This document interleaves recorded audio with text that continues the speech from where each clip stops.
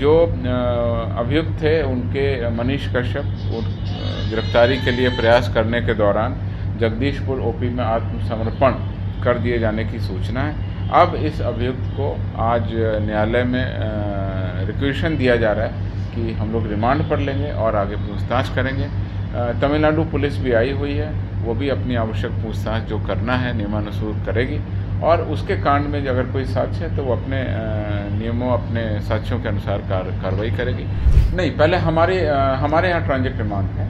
पहले हमारे transit remand है। हम लोगों ने ट्रांजिट रिमांड का एप्लीकेशन दिया है। तो जो भी कोर्ट का आदेश होगा हम लोग उसका पालन करेंगे। लगभग एक दर्जन कांड वहाँ दर्ज हुए। उनकी टीम लगातार कई राज्यों में कैंप कर रही है कार्रवाई कर रही है। बिहार पुलिस के आर्थिक अपराध इकाई द्वारा भी तीन कांड दर्ज किए गए हैं।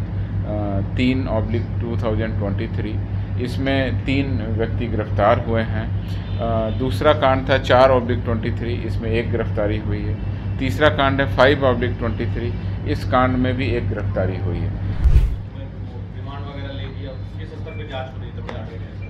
देखिए आपको पता है कि तमिलनाडु में जो बिहार के निवासी कामकाजी लोग वहाँ रहते थे उस प्रकरण में जो वीडियो वायरल हुए, उसमें तमिलनाडु में एक दर्जन लगभग, हो सकता है और भी कांड दर्ज हुए हों, लगभग एक दर्जन कांड वहाँ दर्ज हुए। उनकी टीम लगातार कई राज्यों में कैंप कर रही है, कार्रवाई कर रही है। बिहार पुलिस के आर्थिक अपराध इकाई द्वारा भी तीन कांड दर्ज किए गए हैं। तीन ऑब्लिक 2023 इसमें तीन व्यक्ति गिरफ़्तार हुए हैं। दूसरा कांड था चार ऑब्लिक 23 इसमें एक गिरफ्तारी हुई है। तीसरा कांड है फाइव ऑब्लिक ट्वेंटी थ्री।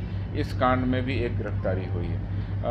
जो अभियुक्त थे, उनके मनीष कश्यप गिरफ्तारी के लिए प्रयास करने के दौरान जगदीशपुर ओपी में आत्मसमर्पण कर दिए जाने की सूचना है। अब इस अभियुक्त को आज न्यायालय में रिक्वेशन दिया जा रहा है कि हम लोग रिमांड पर लेंगे और आगे पूछताछ करेंगे।